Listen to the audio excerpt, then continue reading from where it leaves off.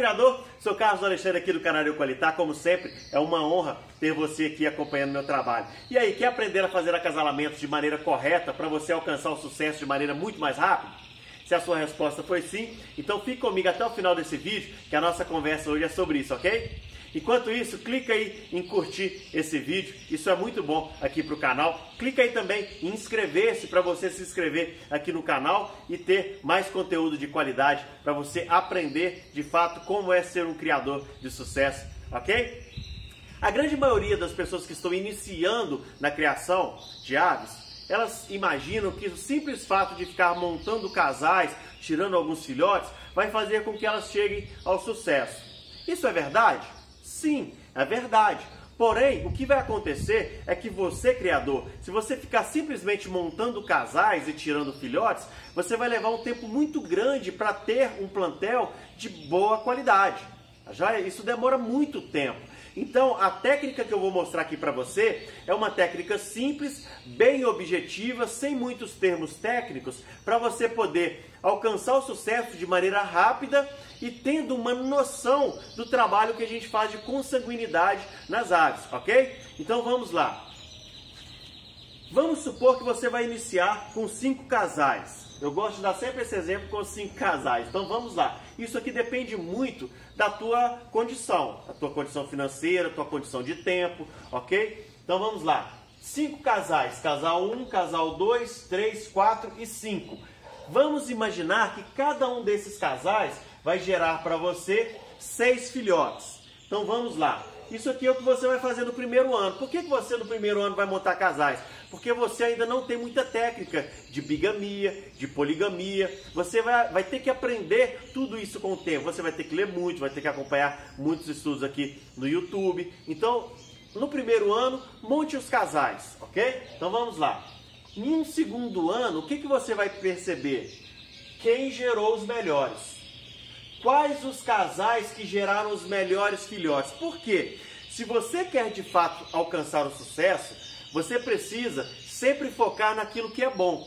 Aqueles filhotes que nascerem meia boca, que não são tão interessantes, então isso não é muito interessante para você. Você vai ter que descartá-los, ok? Então é o seguinte, depois eu vou explicar o que é esse descartar, tá joia? Vamos supor que você identificou que o casal 2 e o casal 4 geraram os melhores filhotes. Então o que, que você vai fazer? Você vai separar essas duas linhagens para você, tá joia? Tudo que nascer do casal 2 e tudo que nascer do casal 4, você vai separar para você. Isso pertence a você. O que você vai fazer com os filhotes e os casais 1, 3 e 5. Faça o que você bem entender. Dá para sua tia, pode fazer novos casais só para você distribuir alguns filhotes e gerar algum dinheiro para você poder ir melhorando esses canários que são de, de mais qualidade. Então isso aí depende do que você quer fazer com eles, ok? Então vamos lá, como que você vai trabalhar? Você vai separar, a princípio, duas linhagens. Você vai trabalhar com duas linhagens a linhagem do casal 2 e a linhagem do casal 4. Lembra, vamos lembrar que esses casais aqui te geraram seis filhotes aproximadamente. Então o que, que você vai fazer? Você vai pegar o pai, o canário que você acasalou aqui, e vai cruzar ele com duas filhas. Aí você vai enumerar ali. Vamos supor que você tirou de seis filhotes, três machos e três fêmeas.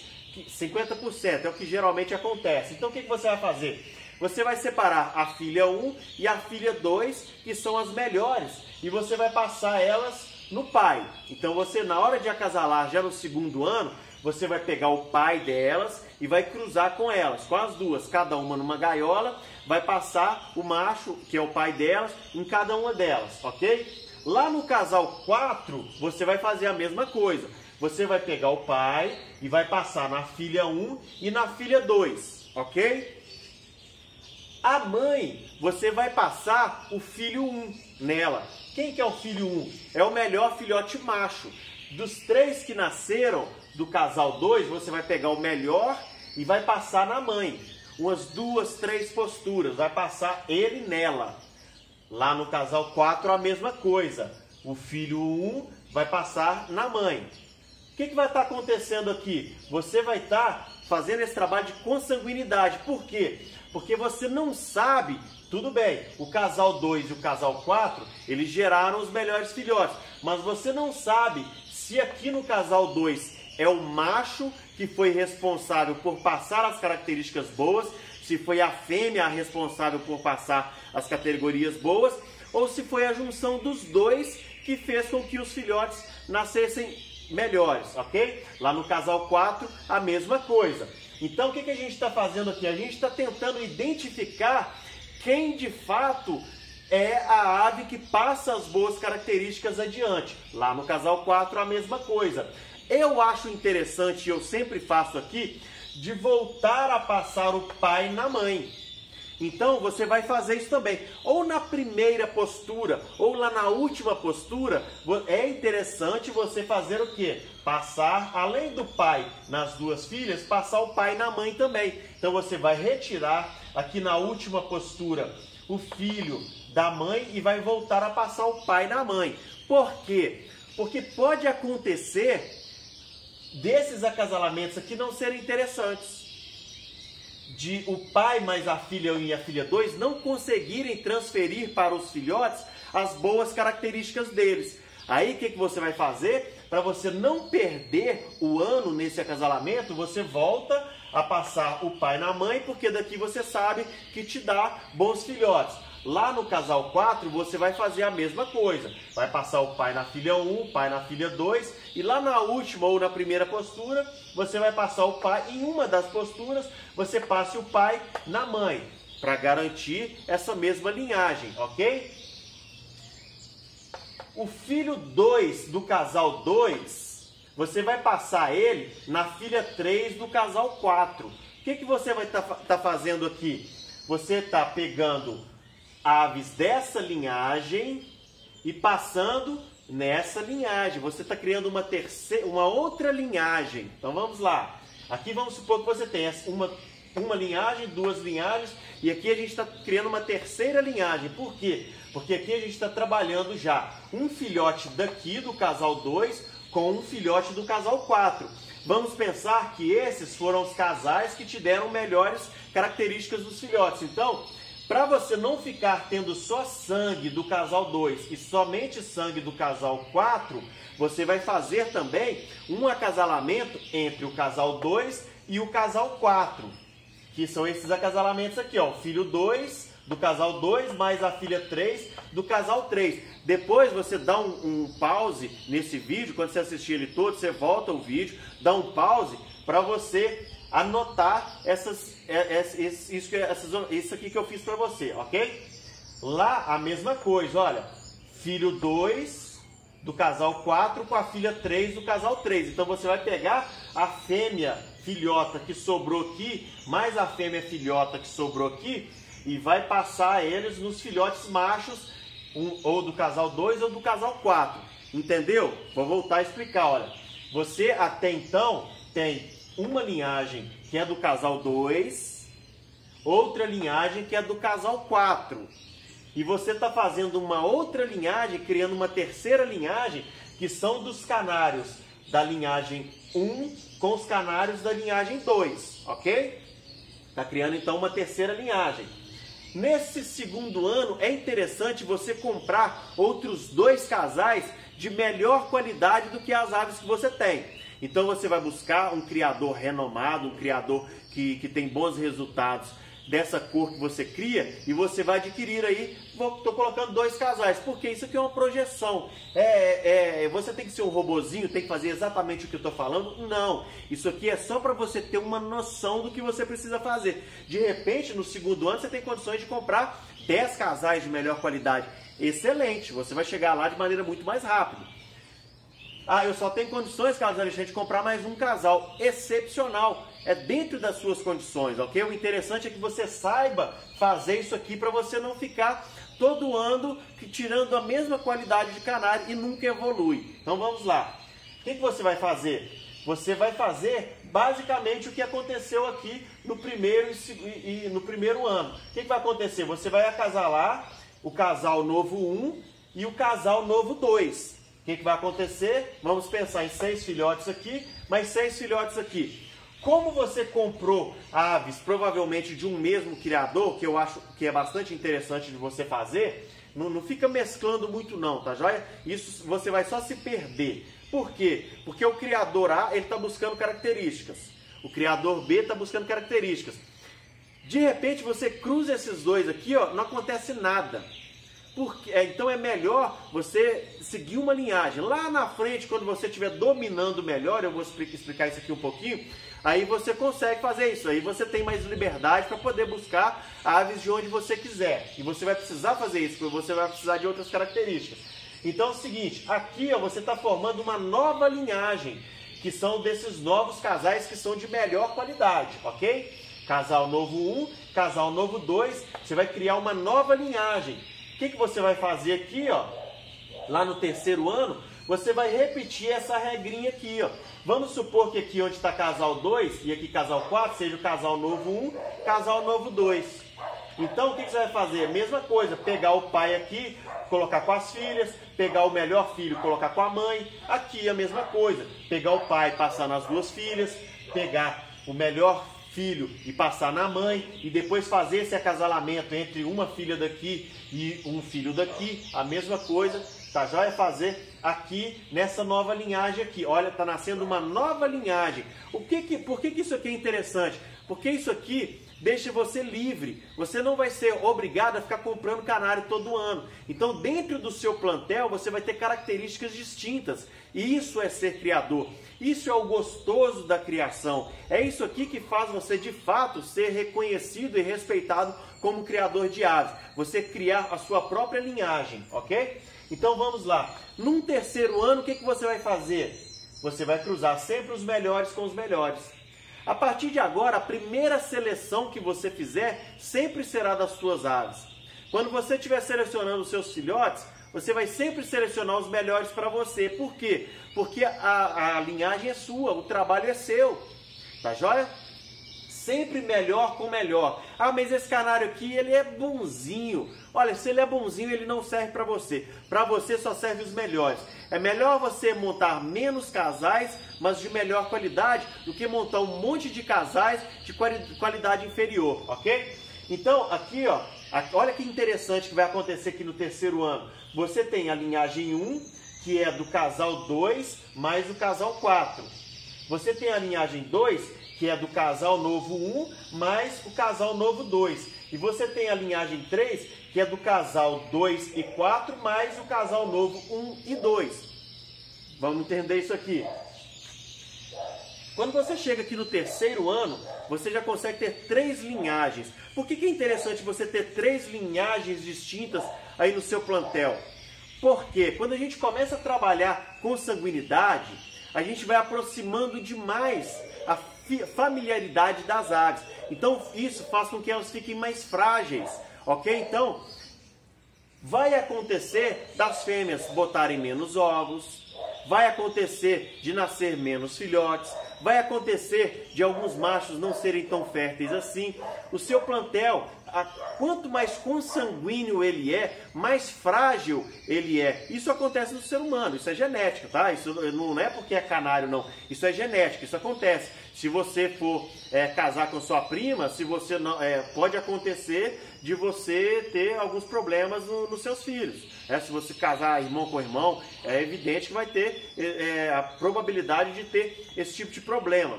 Tudo jóia? Por causa de consanguinidade. Então, o que, que eu estou ensinando para você aqui? Você já, dentro desses acasalamentos, você já tem um escape. Lá no terceiro ano você já tem escape, você não precisa ficar comprando canais de fora para poder colocar na sua linhagem, para poder é, melhorar o sangue das suas aves, porque você vai conseguir fazer isso dentro do seu próprio plantel. É o que eu faço aqui. É a maneira mais correta, Carlos Alexandre, de se fazer? É a maneira mais correta aqui no meu criatório. É o que está dando certo aqui para mim. Você vai pesquisar, você vai ver que vários outros criadores utilizam é, é, basicamente é isso aqui, mas eles fazem de algumas outras formas para poder chegar ao sucesso. Só que é o seguinte, basicamente é isso aqui. Então aprenda o beabá, aprenda o básico para você poder alcançar o sucesso de maneira muito mais rápida, ok? Então vamos lá. Linhagem 1. O que é a linhagem 1?